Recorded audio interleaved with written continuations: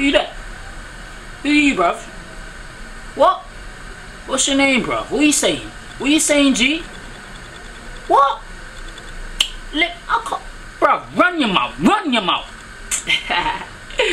Yo, I'm joking, man. Yo. Anyway, this is your boy Jah-phyah, aka JP or Fire. Any one of them names you can call, man. It's fine by me, yeah.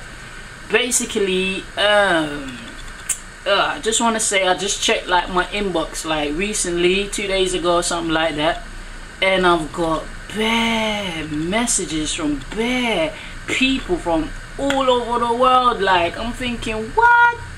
You you look like me? I ain't even nothing special, but you know what? I appreciate it so much. So it's like, just want to let you guys know that I'm gonna hook up my spot with some new videos. I'm gonna keep hooking the videos up. Cause to be honest with you, YouTube was just like a joke thing to me. Like I just basically put my stupid videos on YouTube so I can put them up on my Facebook for my you know my Facebook friends. Just that's about it really. Didn't think about nothing about hits no no no fans or, or shit like that you know what I'm saying? But I'm thinking I'm liking this shit so far. But what I'm trying to say is like thanks to all you guys yeah that spend time to inbox me. You, you know it really means a lot to me. And I'm trying to write back each and every one of you guys that send me a little message you know.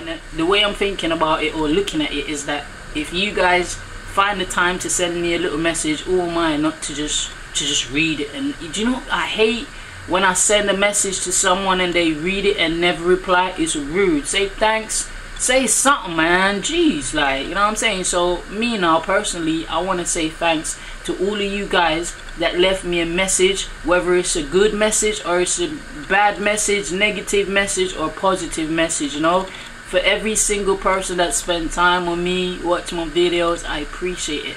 You know what i'm saying? Just want to let you guys know it's all love coming out there from your boy Fire. And man's not no hate around here. I love when i see my peoples moving forward and going places in their life. So big up to all them youths out there that's doing something positive and making movements with their life. You get me? Rep that run that done that. You know? Peace